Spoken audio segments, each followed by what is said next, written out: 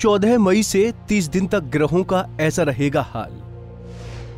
बारह राशियों पर तीस दिन तक दिखेगा प्रभाव। सूर्य का वृषभ राशि में होगा प्रवेश।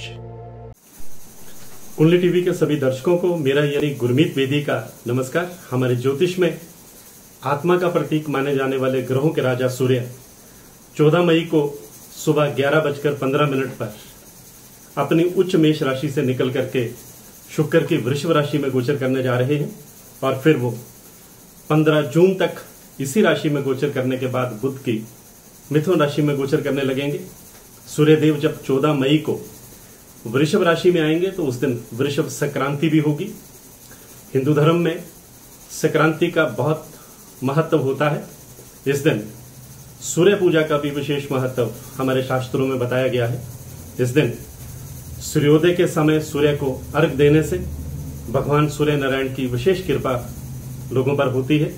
साथ ही सूर्य आराधना करने से सूर्य ग्रह से संबंधित जो हमारी कुंडली में दोष होते हैं, वो भी दूर होते चले जाते हैं और हमें यश, कीर्ति और वैभव की प्राप्ति होती है।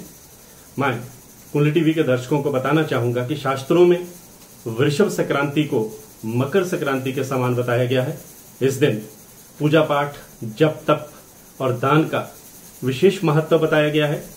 शास्त्रों के अनुसार, संक्रांति के दिन किसी पवित्र नदी या सरोवर में या किसी जल कुंड में स्नान करने से सभी तीर्थ स्थलों के समान जो है वो पुण्य हासिल होता है। वृषभ संक्रांति जो है वो ज्येष्ठ महीने में आती है और इसी महीने सूर्य रोहिणी नक्षत्र में रहते हैं और नौ दिन तक गर्मी बढ़ाते हैं, जिसे नव तपा भी कहा जाता है। वृषभ संक्रांति में ही गर्मी अपने पूरे यौवन पर होती है। इसलिए इस दौरान अन्नदान व जलदान का विशेष महत्व बताया गया है।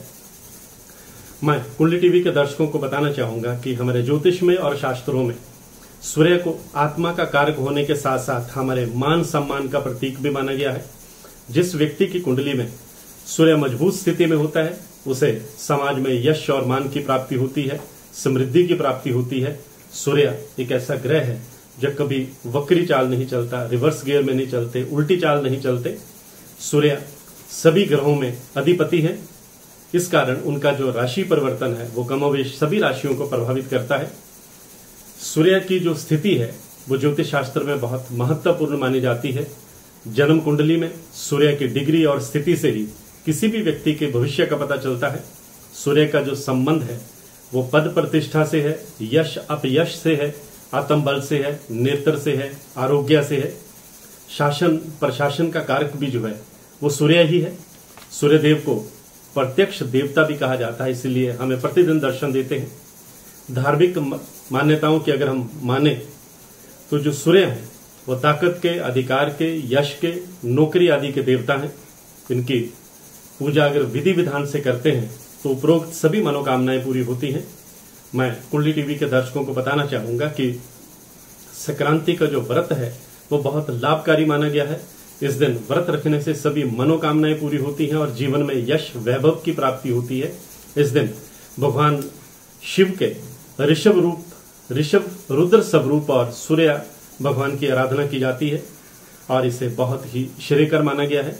चौदह मई को जब सूर्य वृषभ राशि में आएँगे और एक महीना यहाँ गोचर करेंगे तो सभी बारह राशियाँ इससे प्रभावित होंगी। सभी बारह राशियों पर क्या इफ़ेक्ट पड़ेगा?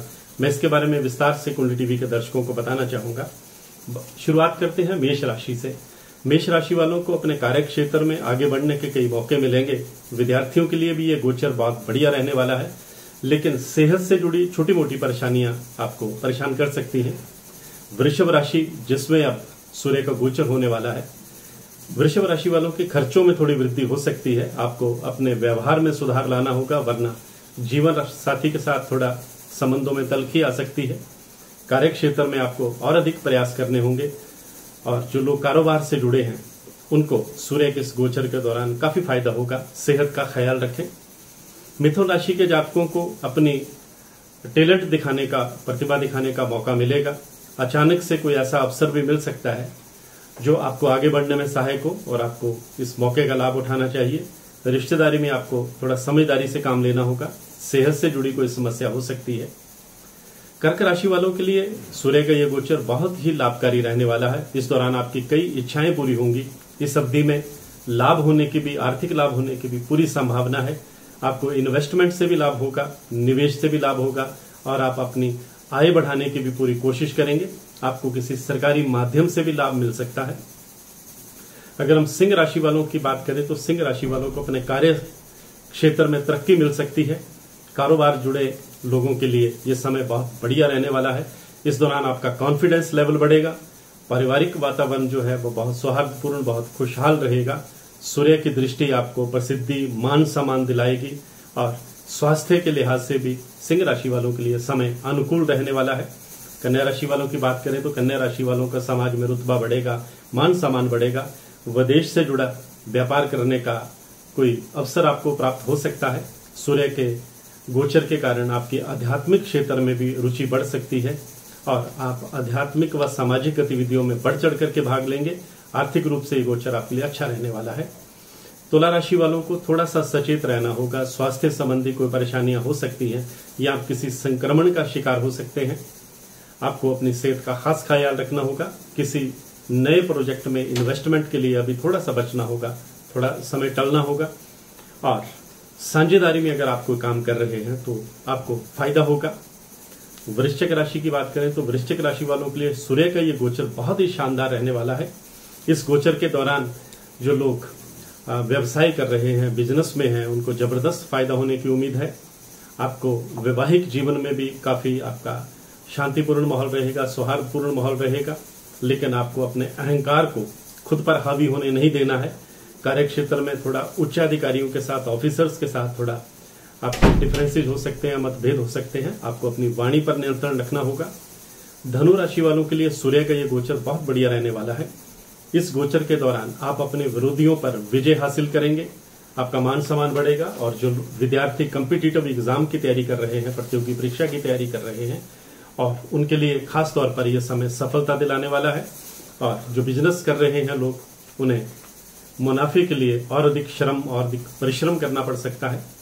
मकर राशि वालों के लिए ये सूर्य का जो गोचर है, कुछ शारीरिक समस्याएँ ला सकता है। व्यवसायिक रूप से भी आपको थोड़ा धैर्य से काम लेना होगा। अचानक धन लाभ भी संभव है। वैवाहिक जीवन अच्छा रहेगा और आपकी सामाजिक स्थिति में भी सुधार आएगा। कुंभ राशि वालों को इस दौरान थोड़ा चौकस रहना होगा वाद विवाद से बचना होगा, परिवार के सदस्यों के बीच कुछ मन मुटाव हो सकता है और व्यवसाय में आपको लाभ होने के योग बन रहे हैं। मीन राशि वालों के लिए ये जो गोचर है, ये मिला जुला रहने वाला है। जीवन साथी के साथ संबंध सामान्य रहेंगे। आप धार्मिक गतिविधियों में भी भाग लेंगे। दोस्तों और परिवार के लोगों का आपको पूरा सहयोग मिलेगा। परियोजनाओं का नेतृत्व करने के लिए आपका ये समय बहुत बढ़िया है। आपको स्वास्थ्य के लिहाज से अपना और परिवार के सदस्यों का ख्याल रखना होगा। चलते चलते मैं एक बार फिर से आपको बताना चाहूँगा कि 14 मई को वृषभ संक्रांति है। आज की पोस्ट में बस इतना ही। मैं गुरमीत बेदी। इसी तरह की और भी जानकारी लेने के लिए हमारे चैनल को सब्सक्राइब करें और नई वीडियो की नोटिफिकेशन के लिए बेल आइकॉन दबाएँ। अगर आप ये वीडियो फेसबुक पर देख रहे हैं तो वीडियो को लाइक और शेयर करें। साथ ही अपनी राय कमेंट बॉक्स में ज़रूर बताएँ। धन्यवाद।